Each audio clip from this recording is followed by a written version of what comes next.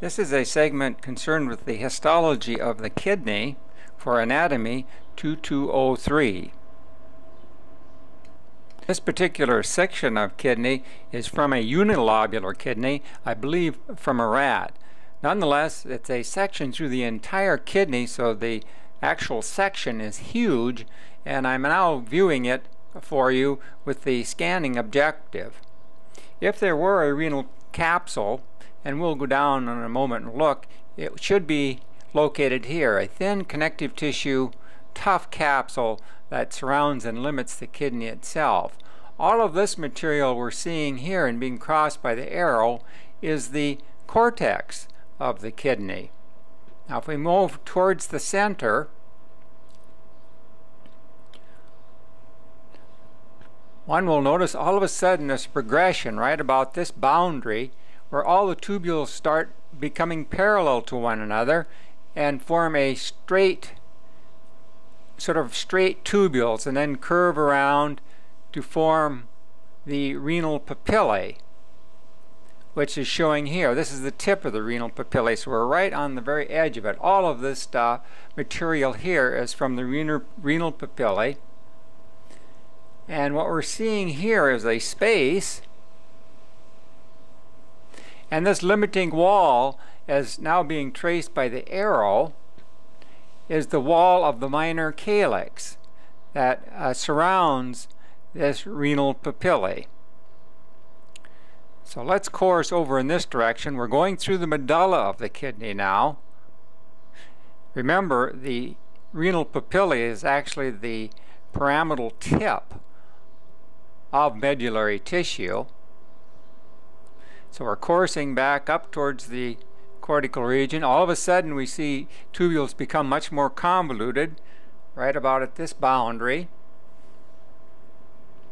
And so this tells us immediately we're getting into the cortex. This field from about this juncture to here is all cortical tissue of the kidney. One can tell us immediately because the tubules become convoluted, that is, they're running in every uh, direction. Plus, if one looks very carefully, one can make out renal corpuscles. The renal corpuscles are found only in the cortex. And as we course around the uh, kidney, looking at the cortical tissue, one can, once you know what to look for, start seeing numerous renal corpuscles. And it is a characteristic of the cortical region. And if one just looks as we course around, one can see renal corpuscles scattered throughout this particular tissue. And then if we course towards the interior, very easily one can see the tubules line up in this area. So this is all medulla. And as the medulla courses down into a little tip, the renal papillae, which is shown here, medullary tissue forming this papillae, and then you can see the wall of the minor calyx surrounding it, shown here. Very briefly, this is the outer cortex, or tubules making up the outer cortex of the kidney. And what this demonstrates is the very thin limiting capsule of the kidney which has been stripped off uh, slightly. It's raised away so you can actually see it.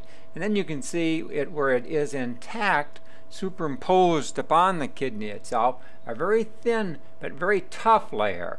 It's very much uh, has the toughness of cellophane, so it's transparent, one can see through it, but it is extraordinarily tough and the uh, closest thing I can relate it to for you it it's, has the transparency but the toughness of something like cell, uh, saran wrap or a cellophane type structure. So this is capsule. I'll show you another region of it a little further along that's not quite as disrupted. This is another section demonstrating the uh, renal capsule the renal capsule extends from about the tip of the arrow is now to this point. So you can see it's quite thin as it's seen at uh, sort of high magnification.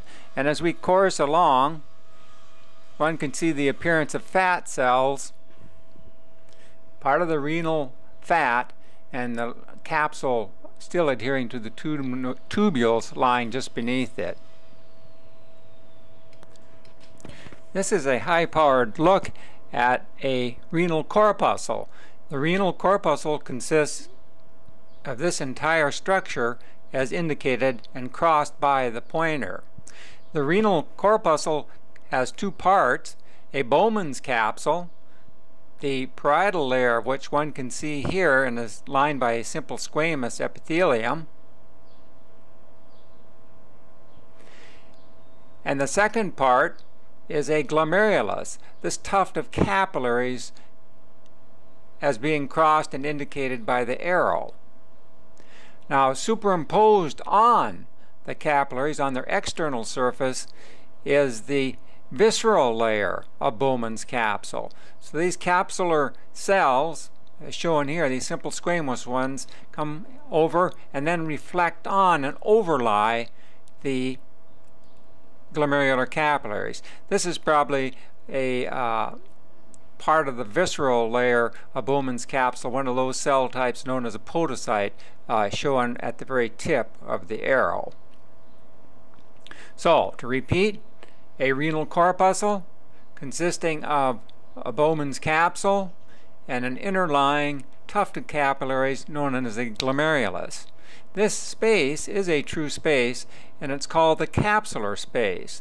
The filtrate comes out of the glomerular capillaries, crosses through that podocytic layer making up the visceral layer of Bowman's capsule and enters this capsular space. After leaving or entering the capsular space, if we can go up to this additional renal corpuscle, after entering, uh, of course there's a little bit of an artifact right here unfortunately, after it enters the capsular space, the material will then enter into the proximal convoluted tubule, which is shown here. This little space uh, should not be here. This should be tightly adherent as it is on this side over here. And so as the materials enters the capsular space, it actually enters into the proximal tubule rather than lying on the external surface of it. And another example of a renal corpuscle showing you the parietal layer of Bowman's capsule here, that simple squamous epithelium, capsular space, and here you can see quite well the visceral layer of Bowman's capsule. Right here, these three cells. These other nuclei are, I'm quite certain, are endothelial cells making up the glomerular capillaries. So we can see the visceral, or the, excuse me, the parietal layer and the visceral layer of Bowman's capsule right here, separated by the capsular space, and then the glomerular capillaries shown in the remainder of the field. That we can be relatively uh, comfortable in saying. This is an additional renal corpuscle that perhaps illustrates the continuity of the capsular space, uh, which is shown here, with the lumen of the proximal convoluted tubule, which is right here, and then this tubule will course and go uh, in this uh, direction here, crosses over, and then off in that way. Here, let me move this over a little bit so we can see perhaps just a little bit better. I can trace that for you. So, to repeat, a renal corpuscle, the parietal layer of Bowman's capsule, probably a cell of the visceral layer of Bowman's capsule. In between is this capsular space. This would be the glomerulus here with its, all the glomerular capillaries. So material passes through the glomerular uh, capillary wall beyond the podocytes, enters the capsular space, enters the lumen of the proximal tubule, which is shown going in this uh, direction like here and then coursing around up then out of the field of view there. So that perhaps is, gives you a better example of that continuity of uh, provisional uh, or glomerular filtrate uh, leaving the renal corpuscle and entering the proximal convoluted tubule. This is a scanning electron micrograph of podocytes forming the visceral layer of Bowman's capsule. This scanning electron micrograph is courtesy of P. Andrews of Georgetown University. This micrograph beautifully illustrates a glomerular capillary which runs in this direction, curves around and comes back and goes at that angle and completely investing and surrounding this underlying glomerular capillary, one can see the pedicels and the secondary, right in here, and major foot processes of the podocytes as they wrap around the underlying capillaries. One here, one can see the cell body of a podocyte. Remember, it's the podocytes that make up this visceral layer. So this is where the nucleus would be. You can see its major arms extending out, much like an octopus sitting on something. And as these major processes extend around, they branch and give rise to secondary processes, which then in turn give rise to these little pedicels, these little foot processes that give this herringbone appearance, or these little tiny projections. The arrow is too big to really cover them, uh, or to uh, touch them almost. In between the uh, pedicels, those little spaces, remember that's where the filtration slits are, a very small diameter. So materials being filtered pass through the underlying endothelium, go through that common basement membrane, and then between these little pedicels and these filtration slits is the sort of colored black here where the arrow is indicating, and then out into the capsular space. The arrow would be, uh, for example, in that capsular space. so this is a beautiful illustration of podocytes which make up the visceral layer of Bowman's capsule. This is a high power view of the uh, medullary region or the medulla just to illustrate some features that one can see. This tubule here is a collecting tubule lined by these very, very distinct cells, sort of a columnar uh, type of cell, light staining with very distinct cell boundaries. Focus that a little bit for you. These vessels filled with erythrocytes or red blood cells lying in this area are the vasa recta. And this tubule here, lined by a very flattened, simple squamous type of epithelium, is a thin segment of the loop of Henle. Perhaps another collecting tubule here. So a thin segment of the loop of Henle, the vasa recta, and then a collecting tubule shown uh, at where the pointer is, or at least the pointer is in the lumen of a collecting tubule. And finally, high power view of the tip of the renal papillae, which is shown here at the pointer.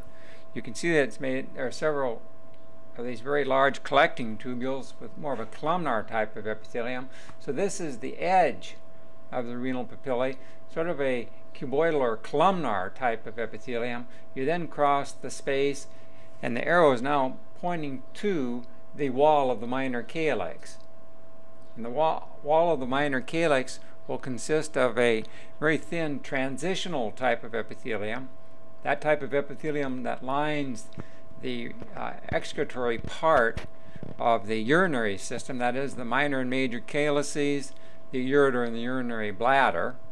So this is a very thin form of transitional epithelium, and then you can see the beginnings of a very thin, smooth muscle wall, characteristic of the tubes conducting uh, urine away from the kidney and to the urinary bladder, and including the urinary bladder.